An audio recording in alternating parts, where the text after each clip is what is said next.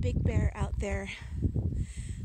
So uh, that might be Bernardino right there. Maybe. Not sure.